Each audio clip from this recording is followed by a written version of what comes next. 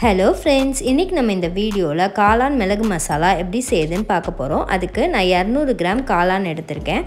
அதை வந்து நல்லா கழுவி எடுத்துக்கலாம். அதுக்கு தண்ணி ஊற்றி தண்ணியில் கொஞ்சம் நேரம் போட்டு நல்லா கழுவி எடுத்துக்கிறேன்.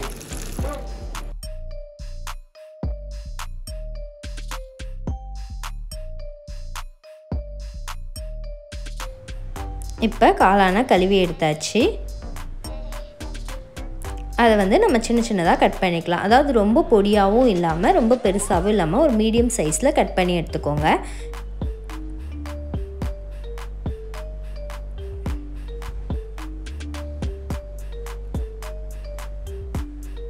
அப்புறம் நாலு மீடியம் சைஸ் வெங்காயம் எடுத்திருக்கேன். நாலு மீடியம் சைஸ் தக்காளி எடுத்திருக்கேன். வெங்காயத்தை சின்ன சின்னதாக கட் பண்ணி எடுத்துக்கலாம். நல்லா பொடியாக கட் பண்ணணும்.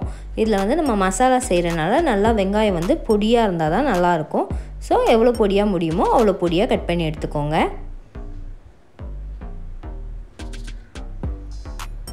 அதே மாதிரி தக்காளியையும் பொடியாக கட் பண்ணி எடுத்துக்கலாம். ஏன்னா நம்ம வெங்காயமும் தக்காளியும் இதில் மசாலா நல்லா மசாலா பண்ண போகிறோம் ஸோ வந்துட்டு நல்லா பொடியாக கட் பண்ணியிருந்தால் தான் அந்த பேஸ்ட் வந்து பார்க்க ரொம்ப நல்லாயிருக்கும் அதனால் எவ்வளோ பொடியாக முடியுமோ அவ்வளோ பொடியாக கட் பண்ணிக்கோங்க.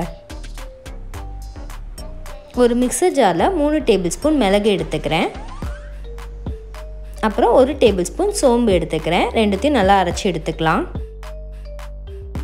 இப்போ காளான் மிளகு மசாலாவுக்கு தேவையான பொருளாக ரெடி பண்ணி எடுத்தாச்சு.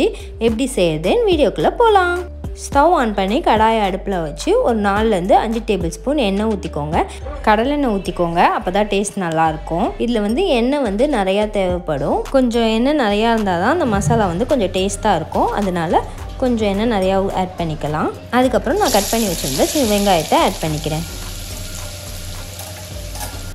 இப்போது வெங்காயம் நல்லா வதங்கணும். அதுக்கு வெங்காயத்தை நல்லா வதக்கிக்கலாம். வெங்காயம் ஓரளவுக்கு வதங்கினதும் நம்ம இஞ்சி பூண்டு பேஸ்ட் ஆட் பண்ணிக்கலாம். ரெண்டரை ஸ்பூன் இஞ்சி பூண்டு பேஸ்ட் ஆட் பண்ணிக்கிறேன். இப்போ நல்லா வதக்கிக்கணும். இந்த இஞ்சியும் இந்த வெங்காயமும் சேர்ந்து நல்லா ப்ரௌன் ஆகிற அளவுக்கு வதங்கணும். இப்போ இது நல்லா ப்ரௌன் ஆகிற அளவுக்கு வதங்கியாச்சு. இந்த அளவுக்கு வதங்கினா தான் ரொம்ப டேஸ்ட்டாக இருக்கும். இப்போது நம்ம கட் பண்ணி வச்சுருக்க தக்காளியை ஆட் பண்ணிக்கலாம். இப்போது இந்த வெங்காயமும் தக்காளியும் நல்லா வதங்கி நல்லா பேஸ்ட் மாதிரி ஆகணும். அது வரைக்கும் நல்லா வதக்கிக்கணும் தக்காளியை. இப்போ தக்காளி நல்லா வதங்கி எண்ணெய் பிரிஞ்சு வர ஸ்டேஜில் கால் ஸ்பூன் மஞ்சத்தூள் ஒரு ஸ்பூன் சில்லி பவுடர் அதாவது தனி மிளகாத்தூள் அப்புறம் ஒரு ஸ்பூன் மல்லித்தூள். கொரியாண்டர் பவுடர் ஆட் பண்ணிக்கலாம். ஆட் பண்ணி நல்லா மிக்ஸ் பண்ணிக்கோங்க.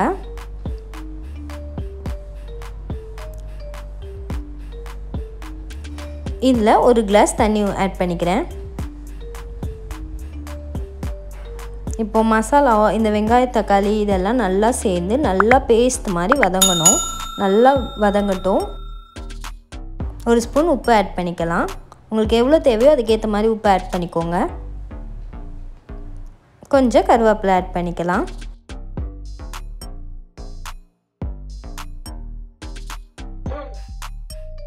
இப்போது இந்த வெங்காயம் தக்காளி எல்லாம் சேர்ந்து நல்லா பேஸ்ட் மாதிரி வதங்கணும். பாருங்கள் இது நல்லா பேஸ்ட் மாதிரி ஆயிடுச்சு. அந்த தண்ணியோடு சேர்ந்து நல்லா வதங்கி ஒரு பேஸ்ட் மாதிரி ஆயிருக்கு. எண்ணெயும் நல்லா பிரிஞ்சு வந்துருச்சு. இந்த ஸ்டேஜில் நம்ம கட் பண்ணி வச்சுருக்க காளானை ஆட் பண்ணிக்கலாம். இப்போ வந்து காளான் வந்து நல்லா மிக்ஸ் பண்ணி விட்டுக்கோங்க. இந்த காளான்லேயே தண்ணி வரும். ஸோ அந்த தண்ணியிலே இந்த காளான் வந்து வேகணும். ஃபைவ் டு டென் மினிட்ஸில் காளான் வெந்துடும். அதனால் அந்த தண்ணியே வந்து நல்லா வேகட்டும். அந்த தண்ணியிலே வெந்து அந்த தண்ணி வற்றி ட்ரை ஆகிற வரைக்கும் நம்ம இப்போ நல்லா இதை மிக்ஸ் பண்ணி குக் பண்ணணும்.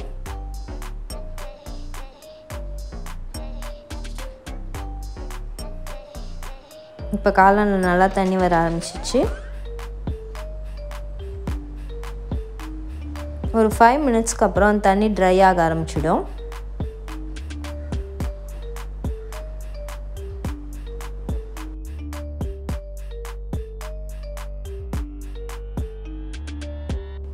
இப்போ காளான் நல்லா வெந்துருச்சு. செவன் மினிட்ஸ் ஆயிருக்கு.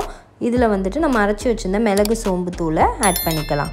ஒன்றரை டேபிள் ஸ்பூன் ஆட் பண்ணியிருக்கேன். கொஞ்சம் காரமாக தான் இருக்கும். உங்களுக்கு ரொம்ப காரமாக பிடிக்கும்னா ஒன்றரை ஸ்பூன் போட்டுக்கோங்க. இல்லை ஒரு ஸ்பூன் கூட போதும். இப்போ நல்லா நம்ம மசாலா ட்ரை ஆகி சூப்பராக ரெடி ஆகிடுச்சு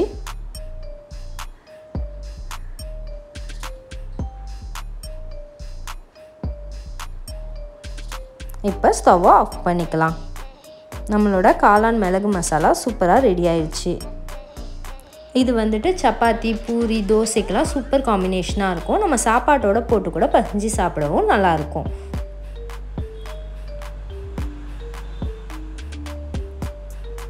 இந்த மஷ்ரூம் பெப்பர் மசாலா ரொம்ப ஸ்பைசியாக டேஸ்டியாக இருக்கும்.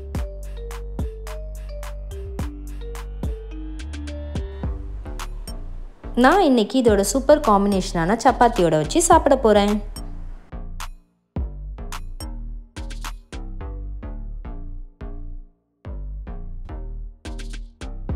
இது ரொம்பவே டேஸ்டியாக இருந்துச்சு. நீங்களும் ட்ரை பண்ணி பாருங்கள்